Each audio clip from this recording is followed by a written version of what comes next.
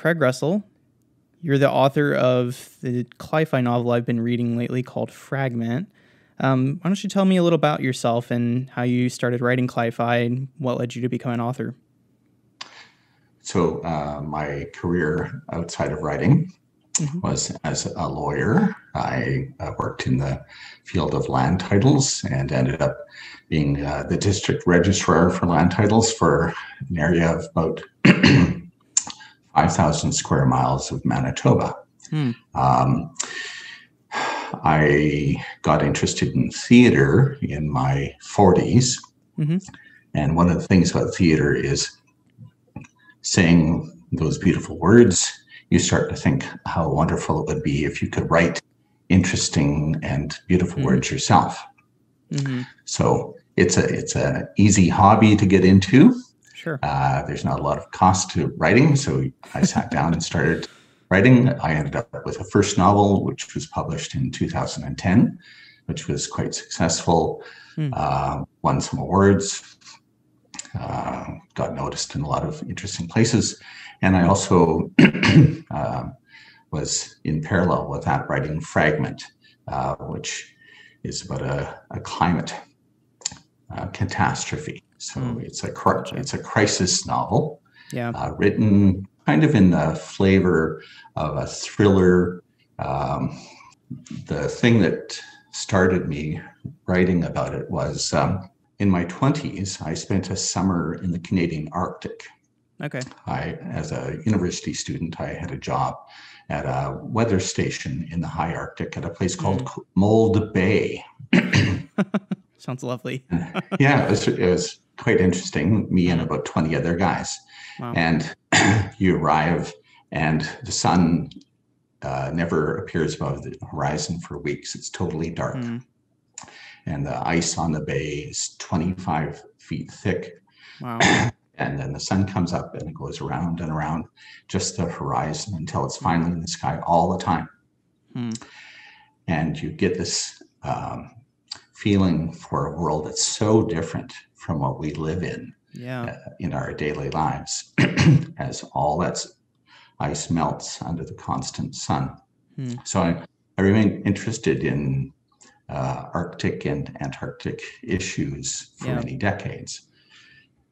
And then in uh, um, 2006, Canada elected a climate denial prime minister, Mr. Hmm. Stephen Harper. Okay. And I was I was quite dismayed about that, and yep. I felt like uh, writing would give me a response to hmm. that. And the res- result was, uh, oh, I took a long time with with writing fragments. So yeah. At that time, the term Cli-Fi didn't even exist. Okay. I didn't know what it was, but I, I knew that it was about, about uh, climate change and global warming was the term at, at the time. Yeah. So um, I had followed issues to do with the Larsen ice shelf breakups. Mm-hmm. So uh, right now we have Larsen C, which broke off of yes. the peninsula uh, about a year ago. But before mm-hmm. that, there was Larsen A and B, which were pretty impressive um, releases of the glacial ice sheet off of Antarctica. Okay. And my interest in science fiction um, as a writer um, makes me think about what if. So these things are tremendous, but what if something bigger happened? And the bigger mm-hmm. for me was the Ross Ice Shelf, which is yeah. further south, closer to the pole, far thicker than Larsen's uh, ice sheet is, mm-hmm. far bigger and what would happen if a piece of ice the size of France uh, let go and entered the circulatory system of the Earth's currents. Mm. Where would it go? What would it do? Yeah, that's brought... a long start. no, that's great. That's all interesting. Um, Ross, the Ross ice sheet, that is the largest ice sheet in Antarctica. Is that correct? That's right. Yeah. Okay. Uh, if you think of Antarctica, mm-hmm. it's like a big cookie with a bite taken out of it. and that bite is the Ross Sea. Mm-hmm. Uh, and in the Ross Sea is the Ross Ice Shelf. It's named okay. after Captain James Ross, who was a, a British explorer who Mm. spent a lot of time um, discovering things about Antarctica. Yeah. Interesting. The, ship, the ships that he had were what are referred to as bomb ships, Okay. uh, not because they were actually bombs. Mhm. they were wooden ships that would carry mortars to fire bombs Oh, inside okay. of forts. Mhm. And so, excuse me, they were built to be especially strong with extra beams inside to deal Okay. with the, the recoil. And the ships that he had, had, one of them was the Terror. And the Terror actually was part of the British attack on Baltimore that Oh, resulted Great. in the American national anthem. cool. So, so the bombs bursting in air, air are uh, uh, were partially fired by the Terror Okay. and it had quite a quite a life. It it was in Antarctica, Yeah. but it also went into uh, the Canadian Arctic as well with the lost Hmm. expedition of Sir John Franklin. Wow. It's been all over the place. That was sure, uh sure was that the War of 1812 or am I getting It that was. mixed up? Yeah. Okay. Nope, that's what I you're thought. right. That is. Mhm. Here I am asking you questions about American history. Canadians seem to pay a lot of attention to America. really? I'm just kidding. I know. A book that um, reading your book reminded me of, which um, was the Overstory by Richard Powers, which um, was one of the best books I've read in a really, really long time. And, you know, it's gone on to win a lot of awards too. But, uh, you know, I was, as I was reading Fragment, um, I was thinking to myself that there were a lot of elements of it that reminded me of the Overstory, which um, is good in my mind because I thought that was an excellent piece of literature. Um, but also, like, just the um, the way the story was told, um, some of the characters that were in the story, not necessarily that they were same characters, but similar in a way. Um, so I guess what I'm talking about is in Fragment, we switch back and forth between multiple viewpoints, between multiple different characters. Same sort of situation in the Overstory. I think like the first, gosh, I don't know how many hundreds of pages. It's such a tome, but um, it's all devoted to just you know introducing you to the characters, giving you their backstory. And then also in Fragment, we have non-human characters, which I always think is super fascinating. Um, and then in the Overstory, you could also argue that trees are kind of like characters. So I know some of um, Richard Powers' reasoning for why he decided to do that, but I'm curious to hear your take on that. Why you decided to structure your book that way? I think it's probably similar. In order to tell Okay. a story of that size, you have to come out at it from multiple points of view. Mhm. And so, if you just have one character, how can they possibly um, uh, be in all of the places where all of the important things that are happening take Sure. place? Mhm. So, so the the fragment for me uh, is is the focus of the story, Mhm. but the side story of Ring the Blue Whale uh, surprised me and how important it became to me as I, I wrote the Yeah. book. Um, for me, stories always evolve. You write what you think is going to happen, and then you discover what really happens. So yeah, at first, I expected Ring was just going to die in the first oh, 10 pages of the book, that would have been sad.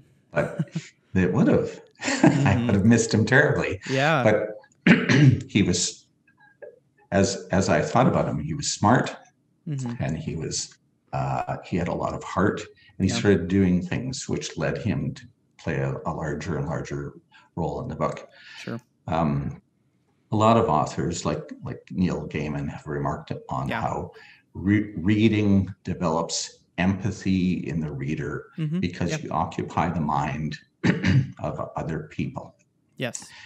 and to occupy the mind of another species, one hopes would develop even more empathy for the natural world. And Yeah. I felt I needed that point of view. The, the world isn't just us, and it's good to connect with a, another creature. The, the multiple characters also allow you to explore uh, uh, people who you might admire, Mhm. people who uh, have good qualities but are flawed, people who are just despicable, uh, and and uh, yeah, and, and and some of whom redeem themselves uh, sure. later in the story. I also find that um, you can describe the death of a hundred thousand people, yeah, but there's no connection unless it's a ca- character that you've uh, built some kind of empathy for. mm-hmm.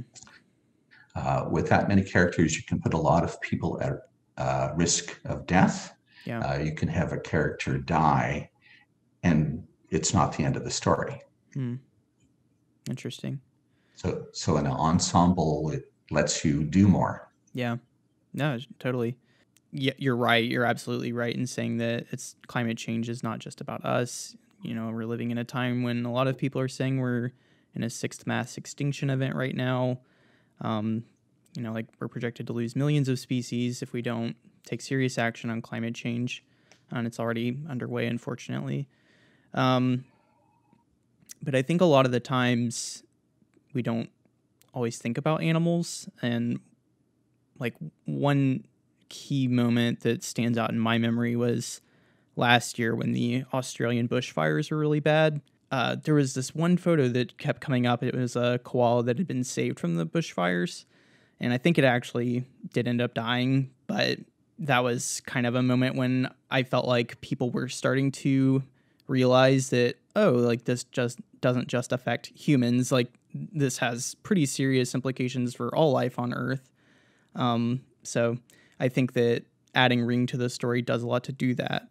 Um, and I think it's interesting how you talk about Ring in the book because, I mean, I think when people think of whales, I people know that they're intelligent, but they don't necessarily think about them the way that you write about Ring. I think um, you give him like autonomy; he makes decisions. He he's like scared for fellow members of his species, and you were saying like get in the mind of other people and then you said get in the mind of an animal and i think that we don't always think of animals as having minds in the same way that humans do but they do experience some sort of consciousness and we really have no way of knowing what that's like so i think that's great that you yeah. wrote it that way one of the um, interesting things that came after the book was published was mm-hmm. I had some correspondence with a scientist from uh, NOAA, the National yes. Oceanographic and Atmospheric Administration. Mm-hmm. His name is Dr. Uh, Bob Pitman. Okay. And he and his scientific partner were on an expedition in the Antarctic Ocean, and they were observing the behavior of humpback whales. Yeah. The uh, altruistic behavior of humpback whales. And they took uh-huh. film and photographs of these whales. And the whales would encounter a situation where a group of orca killer whales were hunting a, a seal. And the mm. seal would be on a little ice floe trying to escape from them. Yeah. And the the orcas would go up and crash onto the ice yeah. floe and make the seal come off. And because the humpback whales were so much faster and more maneuverable, they would swim in, hmm. turn on their backs, and grab the whale what? basically in the armpit of their forefin and wow. sweep the thing away from the, the killer whales. And they observed this wow. over and over again.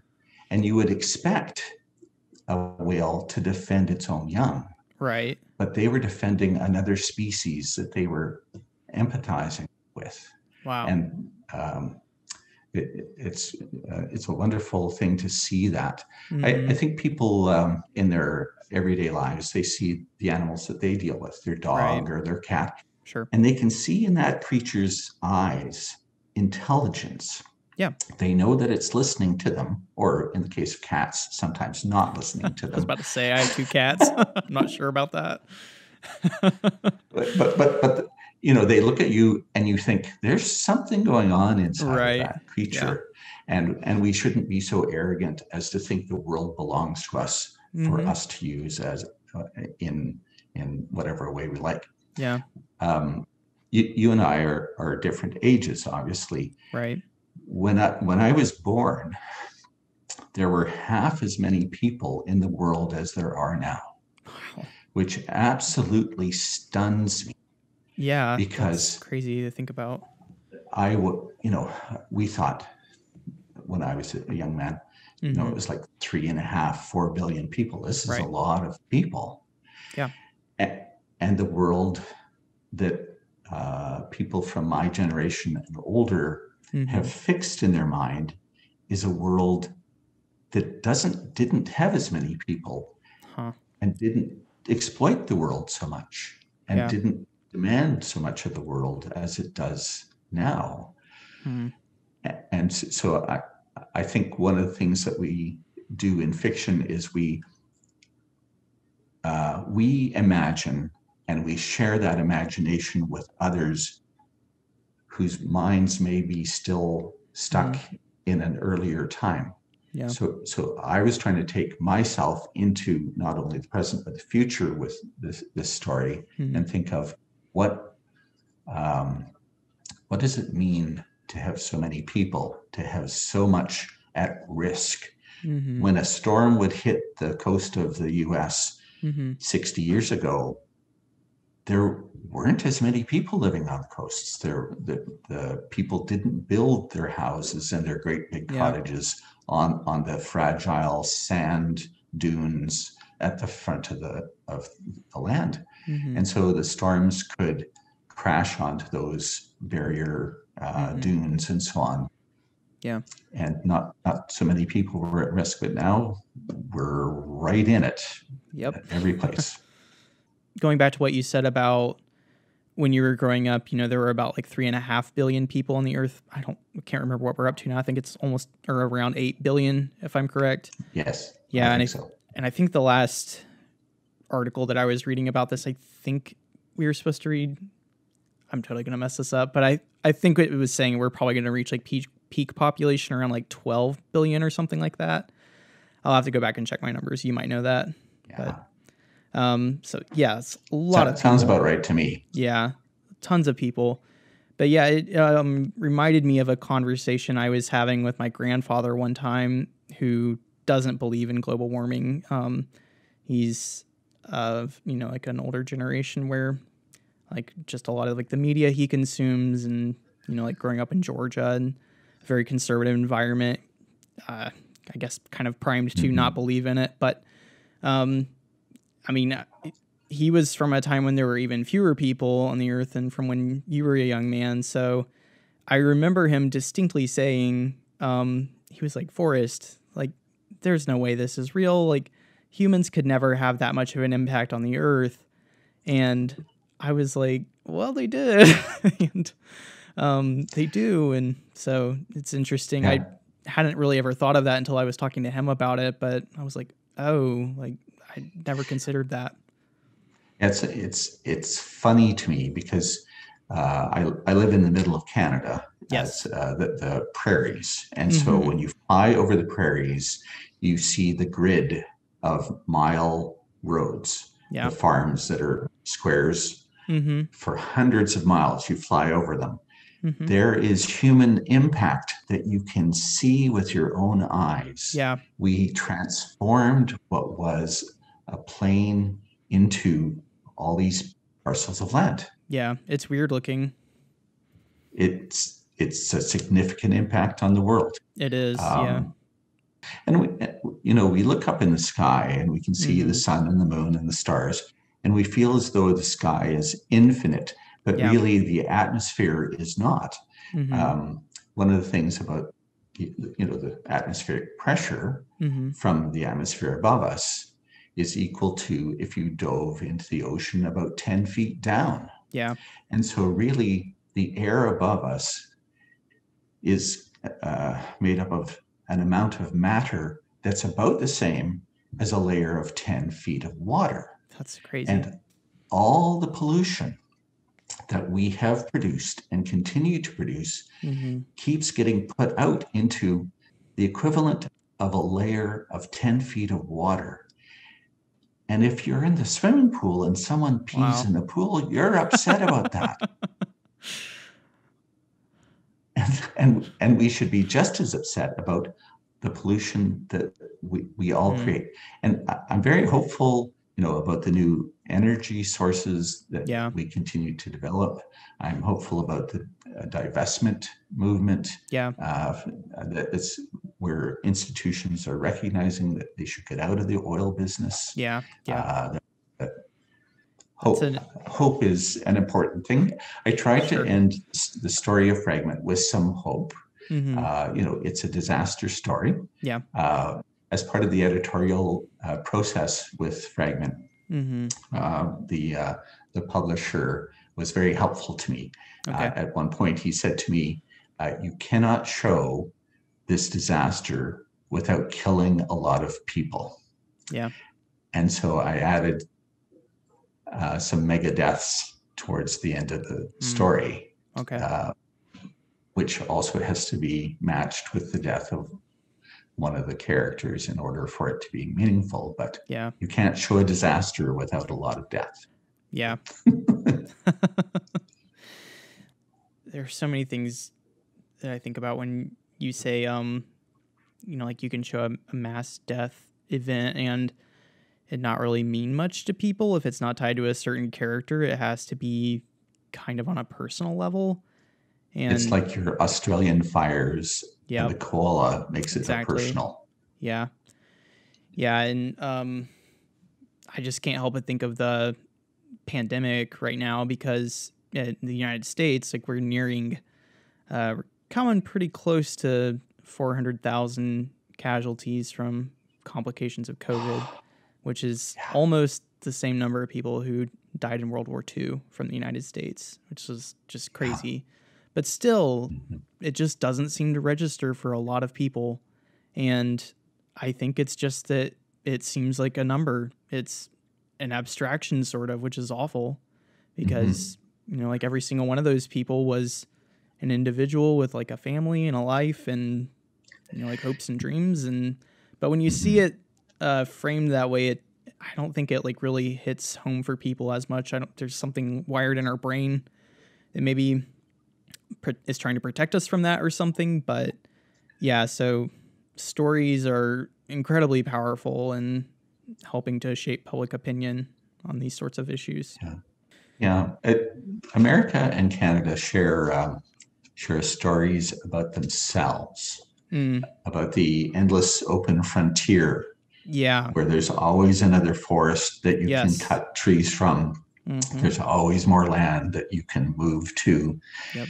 Um, Brazil uh, has similar ideas. I, I corresponded with a professor in Brazil. They Mm. invited me, but that was pre-COVID to go to Sure. a, a climate fiction conference. So that's Oh, been cool. put Okay. off to the future Yeah. but you can see as as they're sending more people into the Amazon and they're just cutting and Yep. burning and cutting and burning as though it's going to go on forever. Uh, um, we need to tell ourselves the stories about how the uh, the earth deserves our respect, the animals deserve our respect, and that we're richer Mm, for having a good earth than we are for having an extra car or house or bigger bank account. Sure. Yeah, I totally agree with you. That's interesting that you said that about Brazil. I hadn't thought of that before, but you know, the United States and Canada both being very, very large countries, like being two of the largest countries in the world, um, that is um, like a, a cognitive distortion that we have that, like, oh, we can just keep, you know, like westward expansion, or like we can always just, you know, keep going You move. yeah, exactly. Um, but yeah, I you were saying, I think you put it really well when you were saying that you know if you look at our entire atmosphere, it's like ten feet of water. Um, and I love the the metaphor of somebody peeing in the pool. That's pretty funny. I'll have to remember that. But um, I was um pretty interested by all the science in the book, and it is a work of science fiction. But uh, you go into a lot of detail. Um, it was a lot of things that I didn't know before. I, th- I thought it was really fascinating. So um, I'm wondering what the research process was like for that. And you said you took a while to write the book, so I'm wondering if maybe that was why or part of it. So yeah, curious about that. Yeah. Uh, yes, I, I found so many things that fascinated me along the way in writing the book. Mm-hmm. Um, and I, I felt like I needed some way uh, to share that uh, because they're, they're, I find learning new things exciting. And I think mm-hmm. uh, when I look back at the books that I've enjoyed, they've always uh, taught me something this, besides just the enjoyment of the story. Mm-hmm. And so, uh, as I worked with uh, the editor, uh, he uh, uh, saw the, these these pieces, uh, which we just called the facts. Sure. And so, he rather than having um, an info dump by a character, you know, in yeah. sort of not very good science fiction, you'll have the professor who gets asked a question who then explains how such and such works. I just mm-hmm. set them aside and I said, This is really interesting. I can tell it, mm. this to you in the form of nonfiction for yeah. this piece. And it, it reflects uh, backwards into the story so you understanding some, understand something more deeply, yeah. or it reflects further into the story so that when the characters encounter something, there's no stop in the flow of action to talk about this. Mm-hmm. You already know that in a way you go with it. Yeah. Um, things like the, the way waves develop, I thought yeah. was so amazing. Mm-hmm. I didn't know that before I read the book, actually. Yes. Yeah. And, and very cool. You know, it's about the strength of the wind, the duration of the wind, and the most fascinating thing to me given the place in the world these people were going to, what mm-hmm. is the fetch, which is the distance the wind can travel before yeah. it hits land, because all around the bottom of the world, all the way around Antarctica, mm-hmm. there's nothing for it to crash into. So a wave sure. can get as big as it possibly can. And that that's that just you know it opens up inside the story so when the characters are in that ocean, mm-hmm. you know this is not a joke what they're going through. This mm-hmm. this is the worst it can possibly be. Right. Yeah, I found that really interesting too. I didn't know that about the way that waves were formed. Um, I guess I'd probably learned that back in grade school a number of years ago, but forgotten it since. And once you see it, it's obvious to you, right? Yeah. You you you go to a lake, and the waves never get very very big. You go to yep. the ocean and they can be huge. The Pacific mm-hmm. Ocean waves yes. are can yeah. be amazing. Uh huh. Yeah, I um obviously from Georgia, grew up on the Atlantic coast, but um the first time I'd actually seen the beach at the Pacific, we went on vacation to um, Mexico. We went to Puerto Vallarta a number of years ago. Yeah, and we were like oh, let's go swimming. So we were swimming in the ocean, and I didn't realize how big the waves got. So we actually nearly got swept out, and it was actually kind of terrifying. But um, yeah, they get very, very, very big. So yes, we've been there as well, and yeah, my there God, were a lot of Canadians there. Not it's funny. yes, yeah. very popular spot. Yeah, I'm sure. Yeah, so I was gonna say when I was reading the book, um, it was helpful that you explained that because then I think one of the following scenes after that explanation, or maybe just before it, is we see some of the characters getting on um, a boat. It's a you know smaller boat and captained by the Scotsman. Oh, I forget his name, but um, they're going. Yes, they're going out to sea, and as you're describing, like how big the waves are, I always knew that that area. Um, I always get them mixed up the Cape of Fear is South America. Cape of Good Hope is Africa. I think. That's right. Yes. So. Cape, um, Cape, Horn. I Cape think Horn. they call okay. the the Horn uh, is the way I've always heard South America yeah. described. Okay. Yeah. So I've I've known just from school and history class that that's a very dangerous passage. Um, it's I think it's the Drake passage. um, Mhm. is what it, they're going across in the book. But yeah, I didn't. It didn't occur to me how huge the waves could get until you had that explanation there in Yes. the book, and I was picturing you know like crashing waves out on the ocean, and yeah, even just seeing the waves coming in on the beach in Mexico and how huge those were. So, but Mhm. um, I say all of that to um, bring up the iceberg floating in and it actually breaking the fetch or at least um, Right. stalling it. And Yes. that was, um, I thought that was like a great use of scale to show how, like, oh, it's, you know, all of this about how waves are created. But then um, suddenly the sea is calm in a place that is known for being very violent and it's because of this iceberg that just the sheer magnitude of it has actually calmed the seas basically hmm yeah It's like 700 meters thick. It's just a, wow an incredible depth of, of ice in the in the Ross Sea. Well, we were talking about the facts, and one of the things Yeah. that, that uh, uh, the book opens with is talking about the resilience of ice, how hard Yes. it is hmm to melt ice. And one of the things people don't think about is the opposite of that hmm how much energy water has to lose to become ice. hmm So, as the ice around us in the glaciers and in the Antarctic and the Arctic melts, as ice, it warms to the point of melting, and then Mhm. it needs 80 times as much energy to melt. yeah But the opposite side of that is also true. As water cools, it reaches almost the point of becoming ice, mm. and it has to lose all that energy, 80 times as much energy Hmm. that it has to le- lose to become ice again. So, Mhm. water that, that, that's melted, or ice that's melted to become water, Mhm. it's not that easy for us to go backwards yeah for us to just say, oh, well, we're going to stop producing quite as much carbon and things Mhm. will refreeze.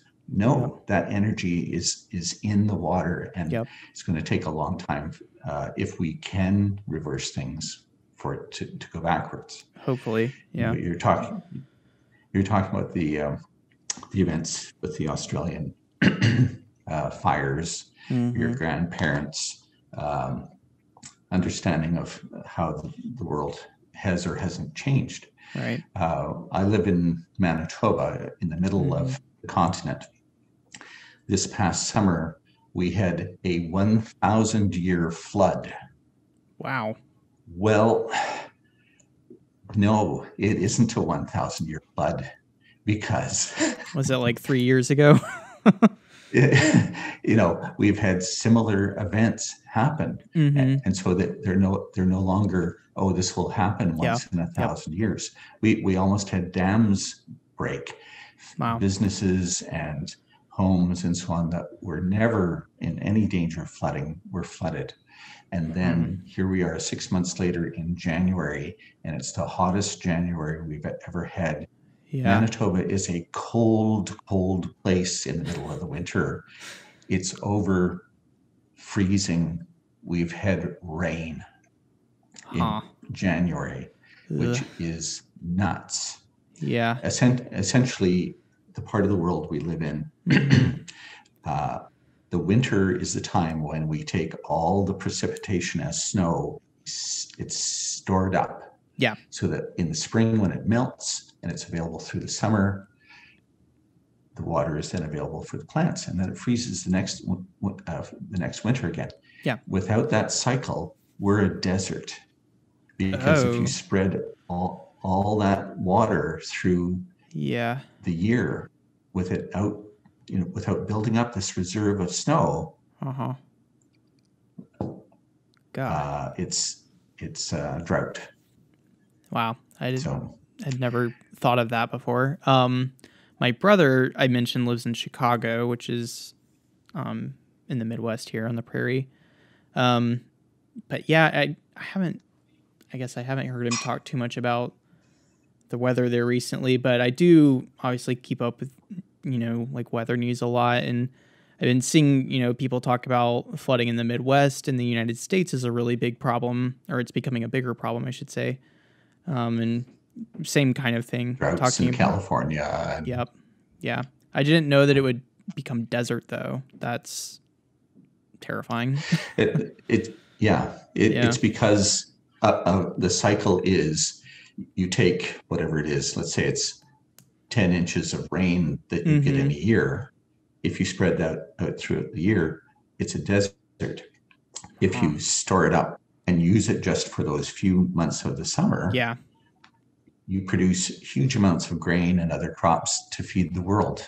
Sure. So it's worrisome for our farmers here. They, they're often looking at is there enough moisture Mm-hmm. in the soil to plant? I know that the Arctic is one of the fastest warming places on the Earth. Um, and I would assume the closer you are to the Arctic, the more you probably experience that. Um, has that been, I guess, a common experience for many Canadians, or at least where you live? So, so the uh, the the temperature differences here have been Mhm. significant, Okay. and the, the part that I encounter is in the wintertime when it's I'll put a quote around this nice. So it's zero. That's nice. Uh, that's uh, sorry, zero in in centigrade for you guys. Okay, 32. that's what I thought you meant. So, so- yeah, so so it's a nice day. In January, you go for a walk and it's zero. Wow, this is nice. Yeah. So that is uh, compared with a normal January of 30 below, very average temperature. That's a difference of 30 degrees. Yep. What if you take that extra 30 degrees and you put it in the summer? So in the summer, Mm. When it should be 25 and you make it 55, everyone dies. Yikes. That's And so we're seeing those kinds of temperatures appear in some of the Middle Eastern countries now, yeah. Mm-hmm. uh, where if you aren't living in air conditioned buildings, Yeah.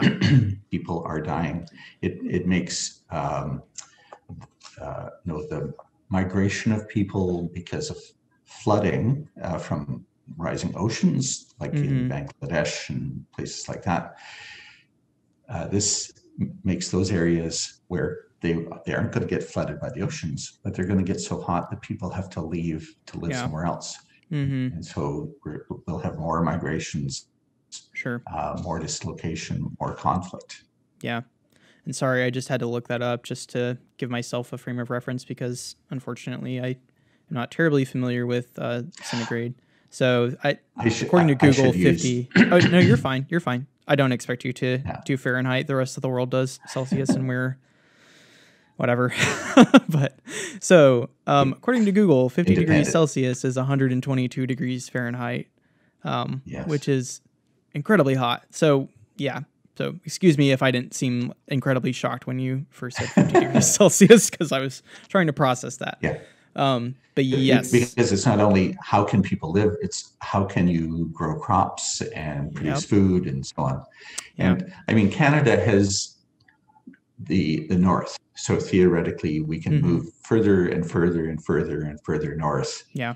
But everyone else is going to be looking for places to live too. Yep. Sorry, I'm not very, I'm not very fun to talk to. Am No, I? no, no, no, no. Um, well, I mean, we're talking about climate change. It's kind of a bleak subject, but um, going back to what you were saying about um, the farmers in Manitoba looking for moisture levels and stuff.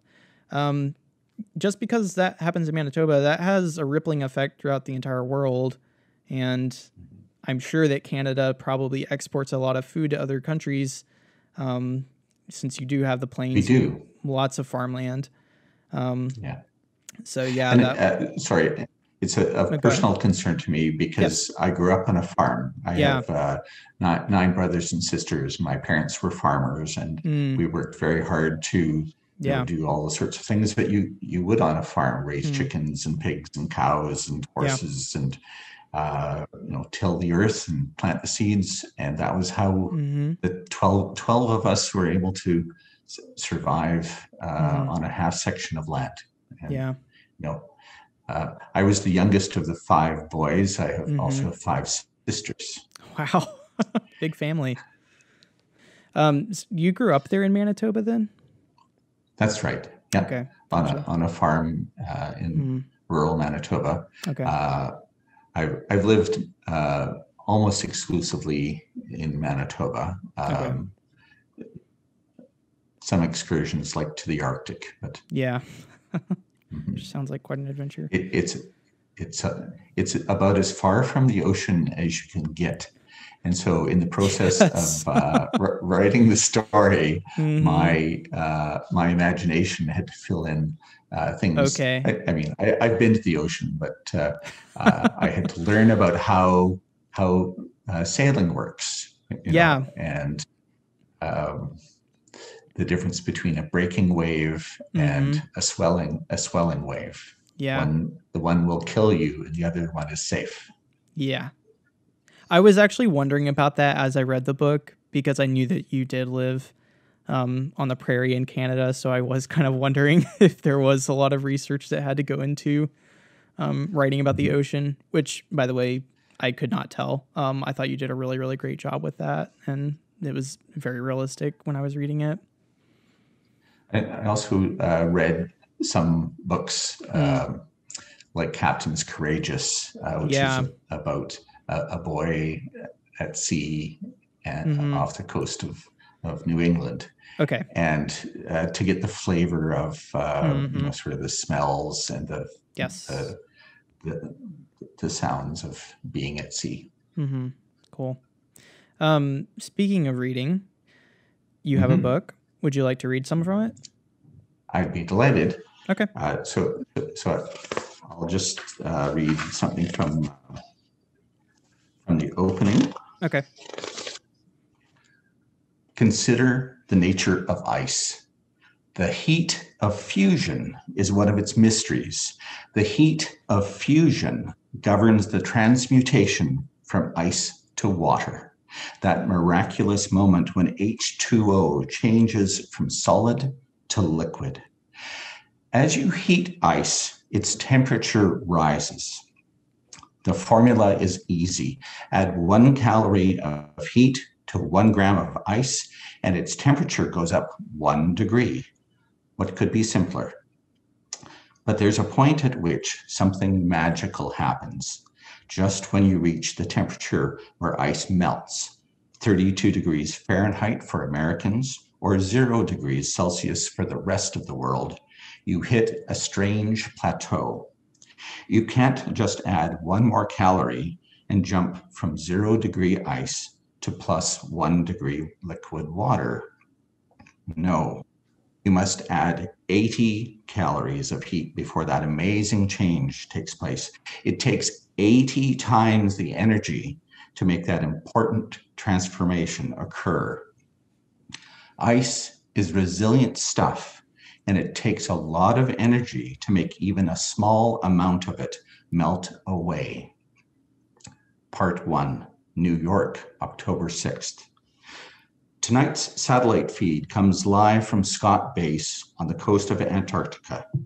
The host of Innovation TV, Jay Traljezik, is slim and tall. In his mid 30s, he has carefully dressed in an open colored shirt and black jeans. He believes he looks like a young professor. He'd like to make co-eds weak in the knees. His studio set is an eclectic mix of shark's teeth, samurai blades, and voodoo dolls, at artifacts he's collected from around the globe. Behind him, the woman's face, framed by honey blonde hair and dominated by Nordic blue eyes, fills the giant screen. Her slim shoulders are fluid under a black turtleneck.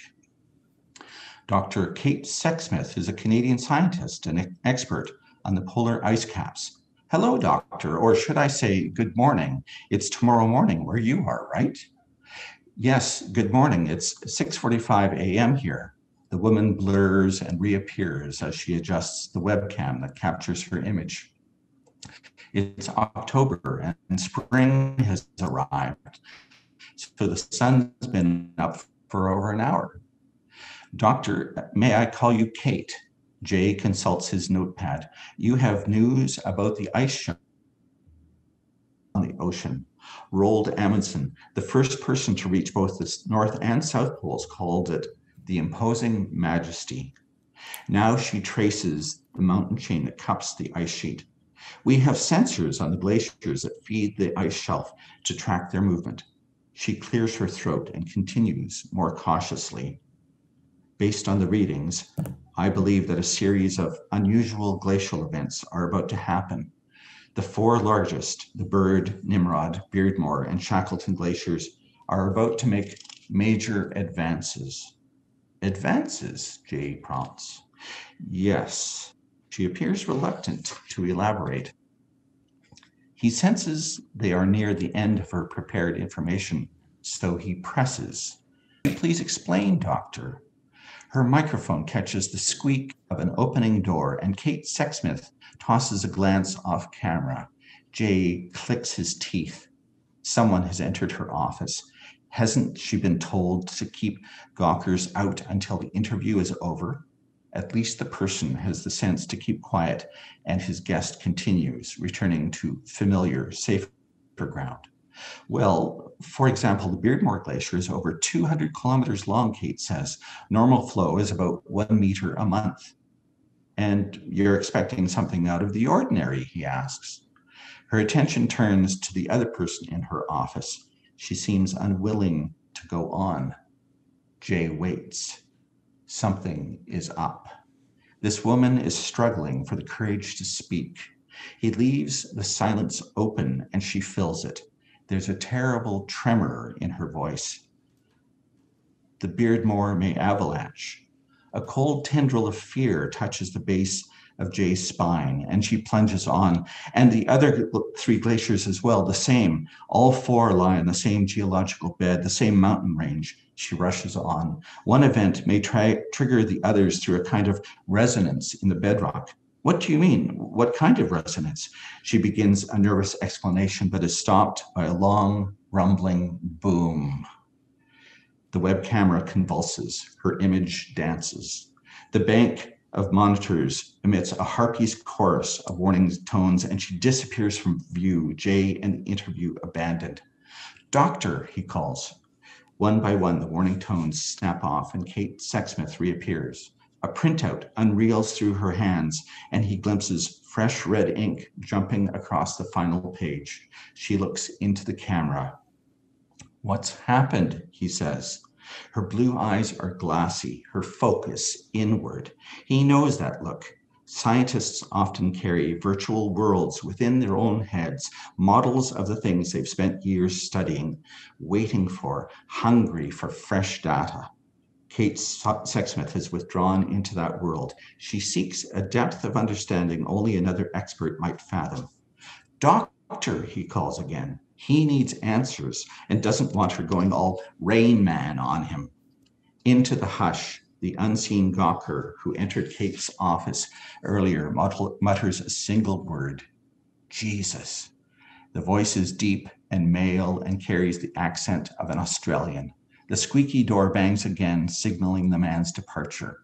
Dr. Sexsmith, Jay persists. You're saying, have I got this right? You're saying that if the Beardmore Glacier falls down the face of the mountain, the woman jerks back from whatever theoretical model she was immersed in, and he gets what he wants. It falls into the Ross ice shelf. Yes, she answers.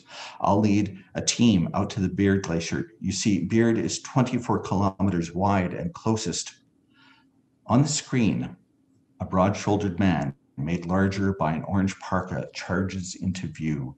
He sports a beard, thick and Viking red, and strides like a rugby halfback, strong enough to make the ta- tackle lithe and fast enough to carry the ball. He thrusts an identical parka at Kate Sexsmith. Come on, Katie. The voice identifies him as the man who was in the room moments ago, a voice that now rides the sharp edge of panic. Come on, now. She doesn't take the offered coat and he reaches for her arm. She pulls back. What's happening? Jay's question goes unheeded. Kate! Redbeard turns, his face looms into the camera and fills the screen. Then he snags Kate's elbow and hauls her out of sight. Doctor, Hello. Jay's face is numb. Is anyone there? No answer. Her chair spins in the now empty office, and a different kind of emptiness settles into his gut. Ten heartbeats tick by. He ignores the frantic signals from Al in the control booth. The rotating chair slows to a stop. He struggles to face the glass eye of camera two. Startling developments on the Ross ice shelf. He trails off, looks down. His notes hold no answers. Jesus, he repeats Redbeard's comment and collects himself to continue. ITV, I mean, I will, I will. It's the start of a promise cut short. The network has gone to commercial. In the control booth, a screen displays a world of empty highways and untouched beaches where a luxury SUV roams at will while Sting sings a love song to torque and horsepower Scott Base. Let go, Kate twists, trying to pull free. Frigid air spills down the, hot, uh, the hallway and a knee-high cold front sweeps past them. Condensation billows around her like an incoming tide. God damn it, Lawson, let go of me. The source of the cold is obvious. The double set of doors at the end of the corridor, normally an airlock against the Antarctic blast, is wide open. A cloud of ice crystals fills the exit. The big red bearded man in the orange parka lets go of her and they stop. Another man, whose dark face is hard with indignation, has stepped into their path. What the hell, Lawson? The dark man is Graham Palmer, the marine biologist. His work has little crossover with her ice studies, but Kate knows he's not one to tolerate the chaos that fills the corridor. Eric Lawson pulls on a pair of leather mitts. There's going to be a wave, a shock wave, he says to them both, in the ice. The wall near the door is covered with parkas on hooks. Lawson grabs one and throws it at Palmer. I'll get a hag. Hurry. Then he is gone through the cloud of ice crystals and out the open doors. The fog eddies and refills his passage. As Kate watches, Palmer pulls on the heavy winter coat Sorry. She pockets her glasses and steps into a pair of insulated boots. What's he talking about? Palmer is a native New Zealander. His words are clipped by the cold and by confusion. There's been a glacial avalanche, Kate says. Oh. Palmer's skepticism is evident. Then he moves, not out the open doors, but back into his office. Wait, he says. I'll be right there. But she doesn't wait. She can't. She crosses the foggy threshold, stepping through zero visibility out into the perfect clarity of an Antarctic morning.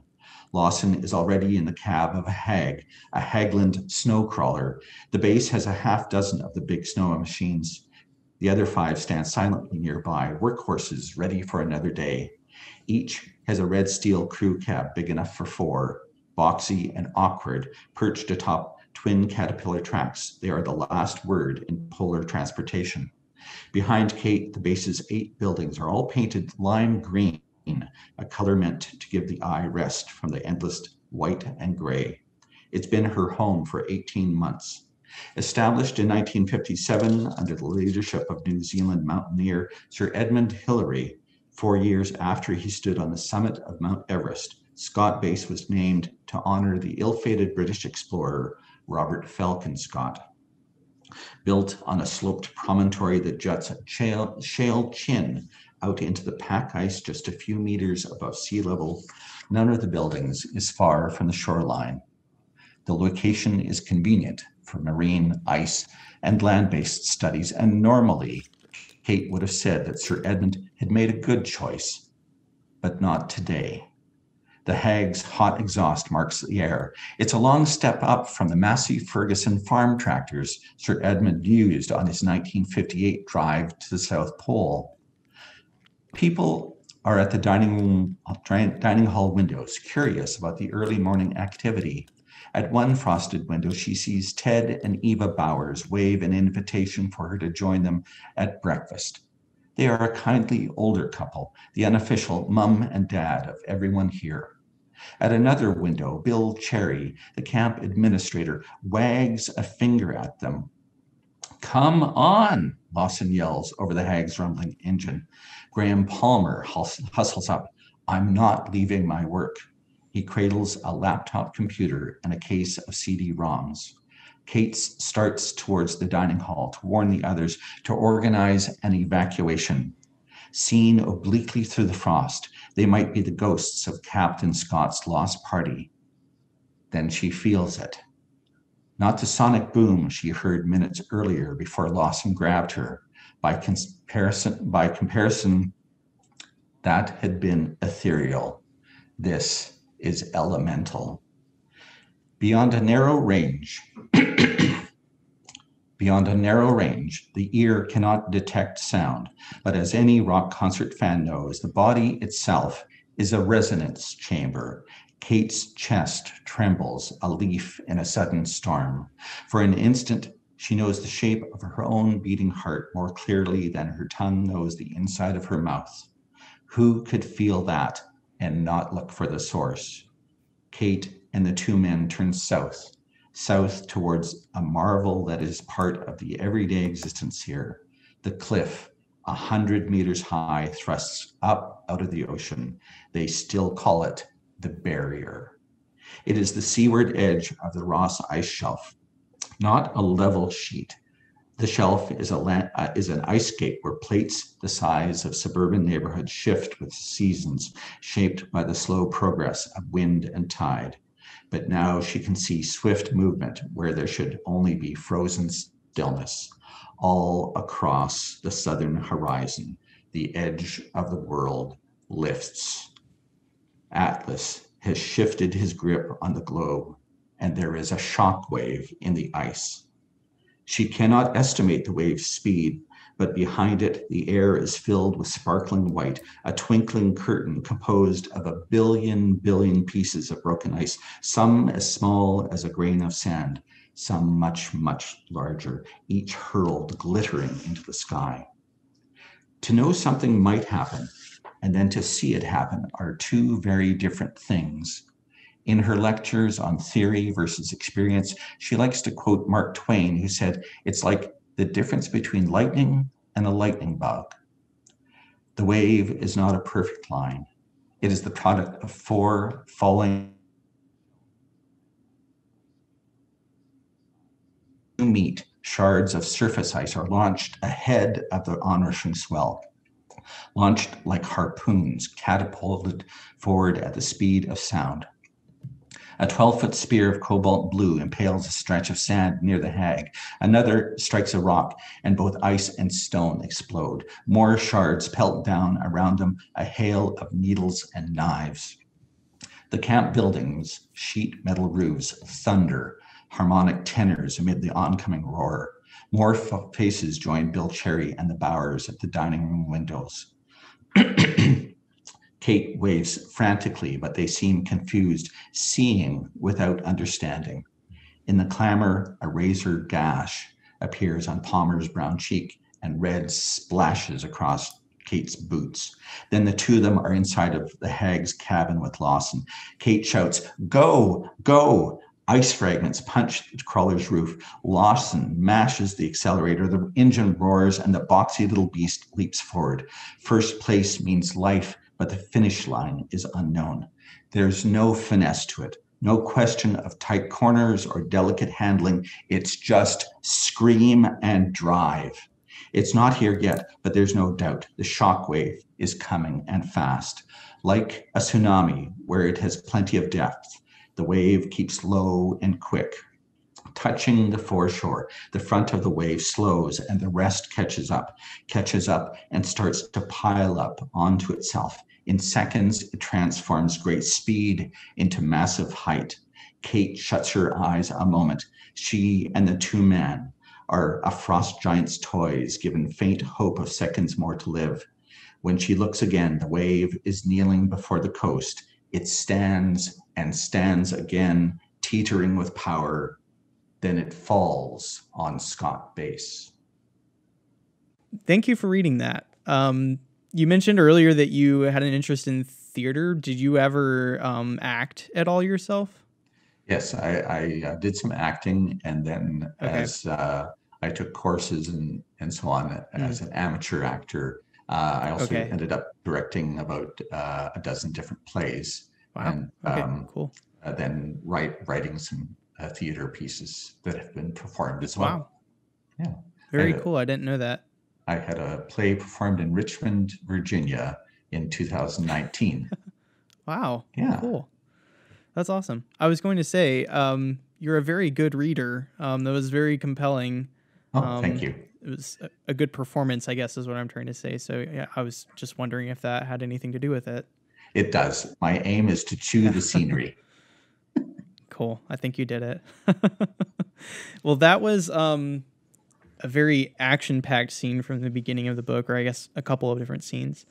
Um, and it was about the Ross ice shelf starting to, I guess, calve off from the rest of the ice sheet in Antarctica. Um, so I wanted to talk a little bit about that. Um, I know that um, this was actually, I guess, like a couple weeks ago now, maybe two weeks ago. Um, you actually sent me an email before we had this talk about, I think it was an, another piece of the Larsen ice sheet, um, the Larsen C ice shelf broke off. Yes. Um, and is heading for, um, I think South Georgia Island is the name of the island. Yes. Yes.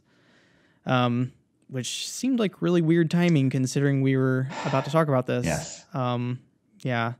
Um, so yeah, I um, I'm wondering. I mean, not that you like predicted this happening or anything, and I mean, there's certainly science, you know, pointing to events like this happening more often. But what does it feel like to see that in the news after you, you know, wrote a whole book about an event like this?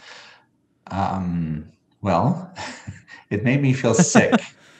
Uh, okay. It, it, wasn't that. Um, I mean, anyone could see these things were going to happen.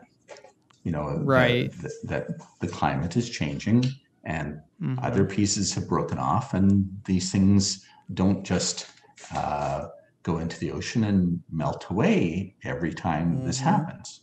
Um, there, there's been some kind of funny things uh, associated with the novel. So, uh, mm. the, a month after it was published, uh, Mr. Trump was elected as president. and, yeah. and when I wrote the book, I included a, a president who is, was pretty callous about the environment. Yes. And, mm-hmm. and his advisor, and they're pretty manipulative. Yes. And quite a few people have since said to me, you know, if I had read this before the time of Trump, I would have said that this character was a caricature of what a bad president would be. And the thing is, he's nowhere nearly near as bad as Mr. Trump has been. Yeah. Yeah. Um, so so there's that thing that happened. and and, ju- and just in the news recently, mm. um, there are reports about the volcanoes in the Caribbean that have become active. So late in the book, there's God, I haven't heard about this. There are events taking place with the fragment getting close to these islands and mm-hmm. interacting with these islands. And uh, in the book, I talk about La Soufriere and Kick 'em Jenny, which are mm-hmm. volcanoes on or near St. Vincent and the Grenadines. And okay. about a week ago, uh, there are reports of new activity with these volcanoes. And, mm. and they haven't done anything for 100 years or, or more. But Great. when some of these volcanoes have erupted, thousands of people have died. Uh, mm. Like uh, from uh, pyroclastic flows. It's when the mm. volcano ex- exhales uh, superheated gases and yeah. entire towns, everyone's died. Yeah. Anyway, when you do research uh, about things, you get connected to the thing itself. Um, yeah. And you notice th- these things more, of course. Uh, mm. what, one of the less serious things that happened was uh, while we were in the middle of editing, mm-hmm. uh, I, I, mentioned the Terror earlier, uh, which was one of the yes. British ships uh, that mm-hmm. was exploring Antarctica Antarctica and also the Arctic. And the Erebus and the Terror went into the Canadian Arctic and disappeared. And, and so in my mm-hmm. original version of the story, there's mention of them, and it says, you know, they disappeared and never were found again. So we're in the middle of editing, and uh, Parks Canada announces that they've discovered one of the two ships. So we very what? quickly change in the editing. You know, this one is found, the other one's never found. And then the book is published, and a week later, Parks Canada announces, "Oh, we found the second one too." so, wow. so, there's this little factual uh, uh, inaccuracy. Uh, it was true at the time the book was published, but it's no longer the case. That's amazing. Um, wow, so many things going on there. Um, yeah, this um, this kind of made me think another book where I had a similar kind of experience um, as in things seeming to come true that were, you know, like so-called like foretold in the book, if you will, um, was, and you may have read it, but it was um, Parable of the Sower and Parable of the Talents by Octavia Butler. Yeah, um, I, I, haven't read them, yeah. read them, but I, I know how okay. important they are. Yes. So, yeah, I was um, I was reading. I had just read both of them they were the first two books that I ever talked about on the podcast.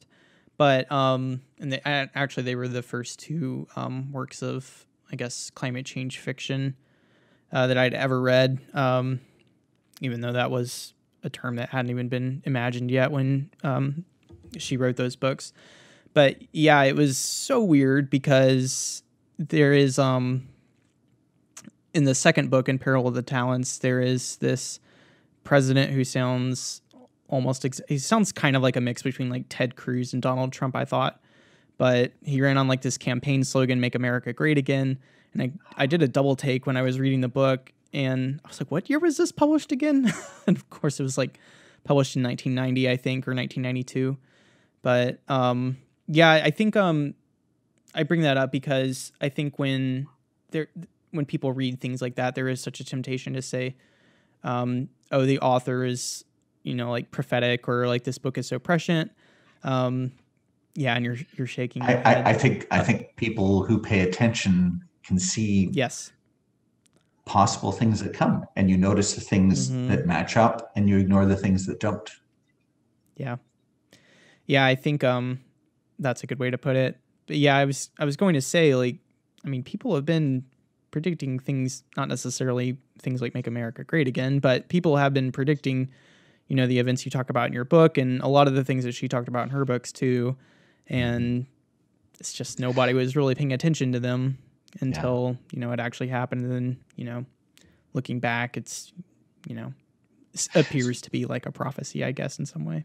So, so can I tell you a personal story of synchronicity? Yeah, sure. Yes. So, so that's a good word. synchronicity is is uh, uh, I know you know what it is, but it's when mm-hmm. uh, things uh, that seem connected happen. They don't. Yes. They don't really have a cause and effect, but they they mm-hmm.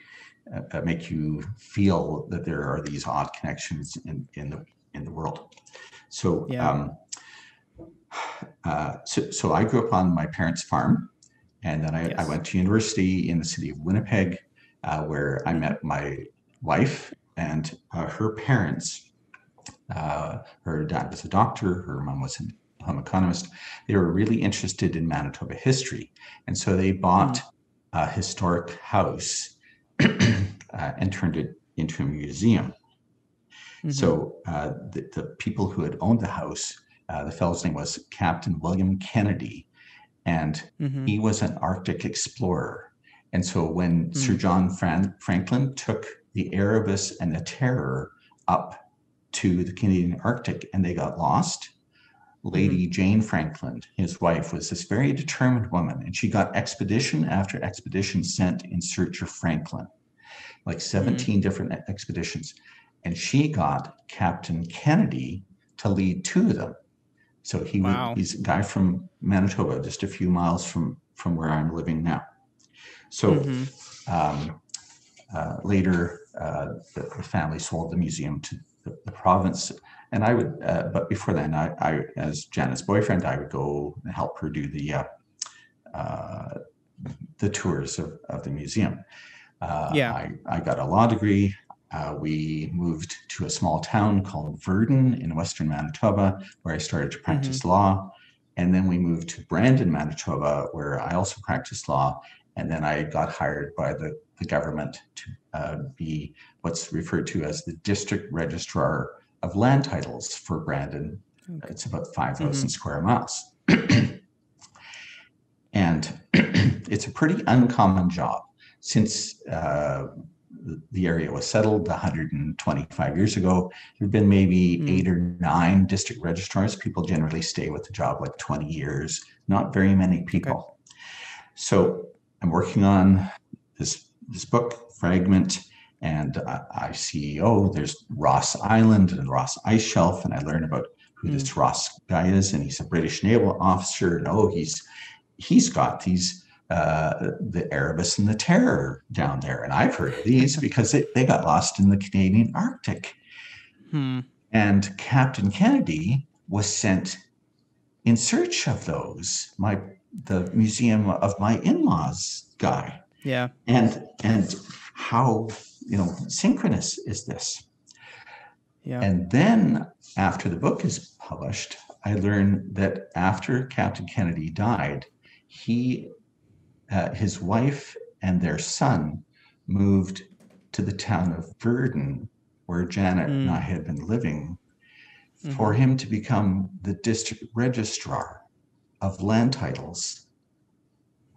For the son to have the same job that I had a hundred years later and for like I was there 17 years. For all these years, I was looking at documents with this guy's signature on it from Wow. 100 years ago. And we had both worked in the same place. And his father had gone to the Arctic in search of this person. Hmm. Uh, life is, is full of these wonderful little tales that don't really mean anything, but they, they're entertaining. Yeah. what is the literal translation? I think it's happy coincidence. Is that what it Yes. is? Or yes. something like Mhm. that. Yeah. That's cool. That is a weird uh, way that you were related, but that works great for the purposes of your book. Yeah. Yeah. Wow. Going back to, I guess, um, heads of state. Um, so you were talking about um, when you first started writing Fragment. I think you said it was 2006, and there was a climate denying prime minister elected to Canada Yes. or excuse me, elected as prime minister of Canada. Um, and to me, that sounds kind of uh, it sounds funny to me to be honest, because as an American, uh, we honestly kind of, or at least I look at Canada as this much more progressive. Like you have your stuff way more together.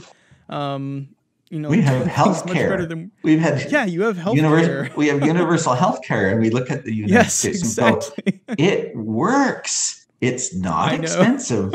it works. People are not, you know, denied Amazing. co- coverage. Mhm. There, I mean, if I need to Yeah. go see a doctor, I go see see a doctor. I Yes. I had a heart attack four years ago. I oh, had Oh, great treatment right away. Like it's That's good. terrific. The rest of the world is doing this, and I know. But but I wish we were doing it. yes. I really, really wish we were doing it. So I, that's I side, made a tweet topic. the other. yes, but yeah, it's it's weird to me to hear you say that there was a climate denying prime minister of Canada because now um, I think I probably grew up mostly knowing Justin Trudeau, who is um, I mean he's He at least talks but- a good game. yes, he at least talks a good game, is what I would say.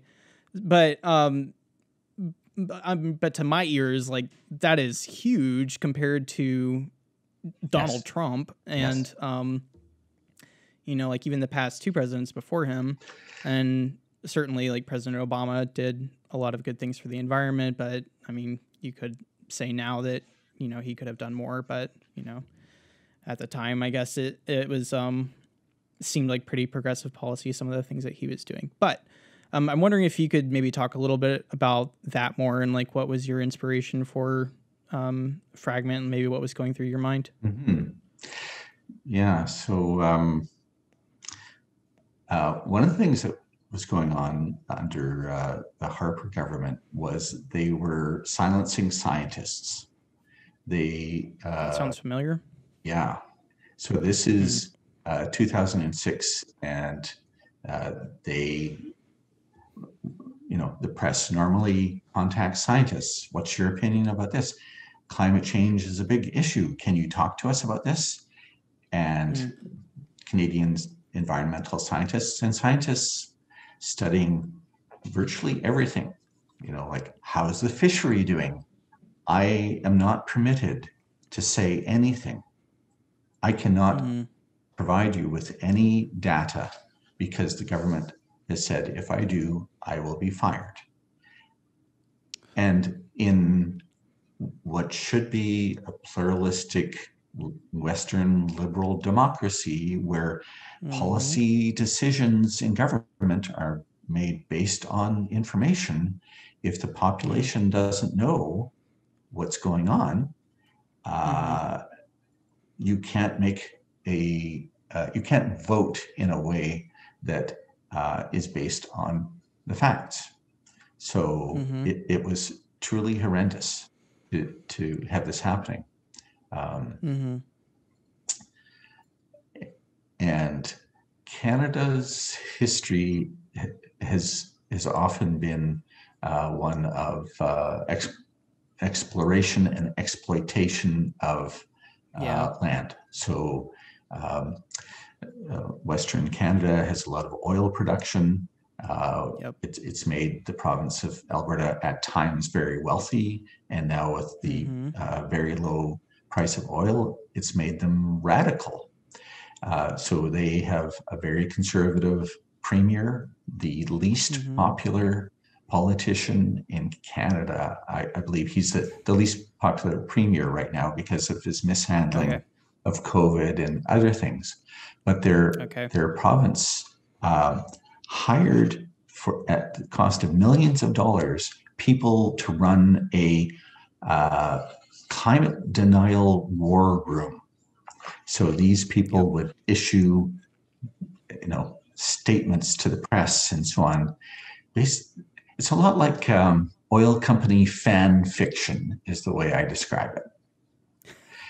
That's a good way to put it. Yeah. So so it's you know, let's hire this guy. Uh, he'll write a report for us. We'll put out the report, and the report really isn't based on anything other than this fellow reiterating oil is good. It's good for jobs. It's good for Alberta. Yeah. Let's keep going. Um, mm-hmm. Yeah. I think a lot of Canada's reputation is based on a good reputation is based on things that we've done in the past well, like yeah, like, like peacekeeping troops in uh, difficult places around the world, in sure uh, helping develop the existence of the United Nations. Um, yeah. In developing things like the Salk vaccine for polio, you know, yeah. Canada, mm-hmm. Canada had, has had some great scientific uh, people in, yes. in, the past, um, mm-hmm. but a number of uh, uh, years with, I would I would say not traditionally conservative, but ultra mm-hmm. conservative governments have led to some very weird things. Uh, Canada had uh, the Canadian Wheat Board, which was this thing that farmers loved. They mm-hmm. it, they owned it. It was their cooperative where they pooled all of their wheat together, and they said to the world, mm-hmm. "We will sell this to you not as individuals, but as this enormous bargaining unit." So we can say, okay. you want our wheat? You pay us top dollar. So yeah. during the Harper years, they sold the Canadian Wheat Board to mm. Saudi Arabia. What? Exactly. What? Saudi Arabia. what? Huh. The farmers didn't want them to sell it, but they did really? it and they voted against selling it, but they did it uh. anyway. And so, uh, mm, very anti democratic. Uh, yeah. And, and, the result is um, the friends of the government got money Uh-huh. and the people that they should be that they claim to represent like you know the rural farmer we're all for the rural farmer Mhm. got screwed very sad That sounds like uh, pretty similar to what's going on here in a lot of ways, Yeah. and has been going on, I should say, for quite a long time. yeah the sale the Um, sale of public assets like closures of parks Yeah. um, Mm, alberta is closing parks and selling them really? selling provincial parks is madness Are they selling them to oil companies or what are they? no they're selling them What is it? Or is to private private private companies who will then run the parks at a profit oh, okay. Like privatizing them. yeah That's so weird. that is Huh. yeah I, Yeah. essentially you have um, people in government who do not like government yes. Yeah. and the result is they dismantle government and a lot of these things Mhm. are really irreversible Yep. Hmm. Um, Um, I just read this. sorry to cut you off. I just read this book called um, Weather by an author named Jenny Offill, and it's um, so it's about this librarian, but she gets a side job basically working for her old professor's climate change podcast, uh, which Oh. seemed very relevant to me. Um, but she always jokes that at the end of every podcast episode, every person that her professor interviews, she always has to ask them for an obligatory note of hope. so I don't want you to think that's what I am doing. Um, no I am, yeah. So uh, there's a lot of talk about hope and, you know, like, is it even like worthwhile to talk about hope and that sort of thing? Um, but I guess what I'm really interested in is, um, I guess like courage and um, what will help us have courage to face what is coming and what is already here um, in many ways. And um, And I do, Also, I do just- see a lot yeah. of that. I, you know, Mm. um, you know, people forever talking about, oh, the young people are this or the young people are that, and yeah, there's wonderful young people who Mm-hmm. are doing uh, things like what you're doing. Uh, uh, you know, the movements um, uh, about uh, climate issues, movements about democratic issues, about Mm-hmm. equality, uh, about fairness, about justice. Um, hmm you know, idealism is something that we can learn. We yes. we a lot of people lose it over time, but Mhm. you can relearn relearn idealism in the past. Hmm. And and, and one of the things that that I've uh, seen in the climate fiction that I've encountered uh, as I've talked to professors and, and so on is um, they they feel that they've got to change the stories that we tell each other Yeah. and that that will change society hmm Yeah, I think that's good. Yeah.